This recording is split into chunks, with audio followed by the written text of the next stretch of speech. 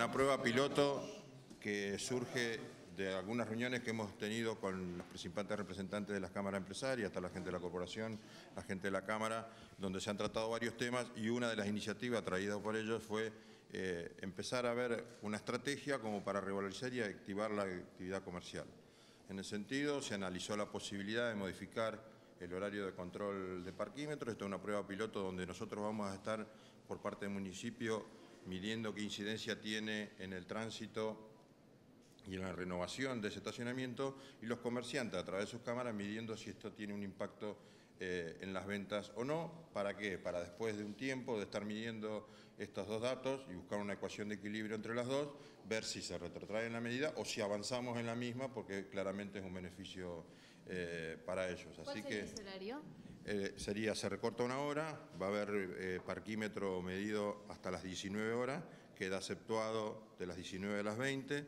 En esto queremos aclarar que por una cuestión tecnológica todavía no ha sido posible cambiar porque ya está por un cambio de tecnología y de prestador de servicio van a estar instalando los nuevos parquímetros, entonces al vecino lo que le decimos es, si estaciona después de las 19 horas, no va a haber inspectores, no se le va a dar la multa.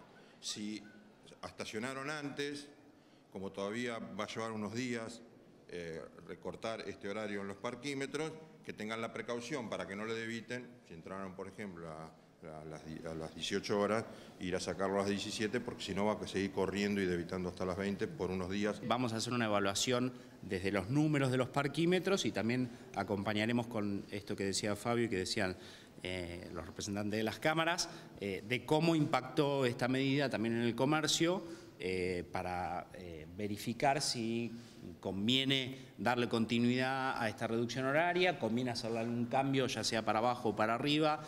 bueno, iremos evaluando. Esto también nos permite, en estos dos meses que quedan del año, también se, va a implementar la nueva tecnología de parquímetros y esta nueva tecnología de parquímetros se va a extender, como decía la ordenanza que se sancionó a principio de año, a una ampliación de zona del área de parquímetros. Entonces, todo este conjunto de medidas que tienen que ver con el estacionamiento medido y pago eh, van a ser evaluadas a fin de año y ahí veremos cómo continuamos. ¿Los días sábados se mantienen como ahora? Los días sábados se mantiene igual que ahora, que no se abona el estacionamiento. Y bueno, quiero recalcar lo que dijo Fabio al principio, de que esto se trata solamente de exentuar el pago a partir de las 19 horas en zona de parquímetros. No es una liberación del estacionamiento.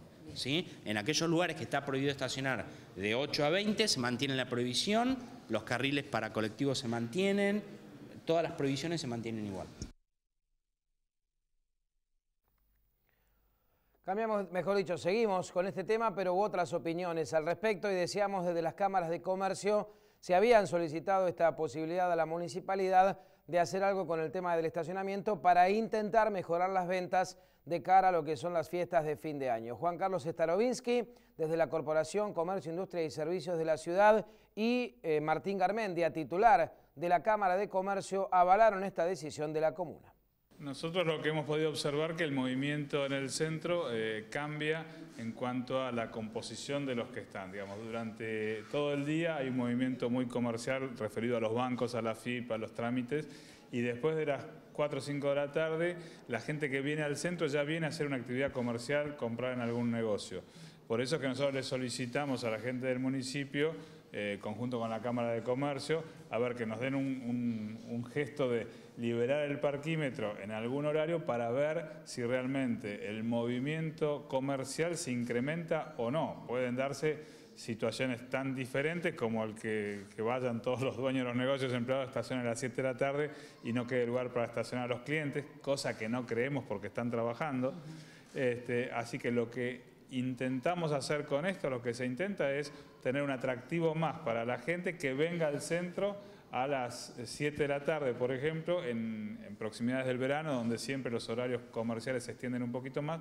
Y como dijo Fabio, esto es una prueba. Vamos a ver qué pasa, al igual que con el horario corrido. Esto, sí, se buscan distintas estrategias. Digo, esta es una, pero se buscan distintas estrategias. Yo creo que hay que valorar el gesto del municipio al haber escuchado a las cámaras empresarias llega en un momento importante porque para las ventas de fin de año esto nos va a servir a todos, pero fundamentalmente, como dijo Fabio, esto tenemos que probar.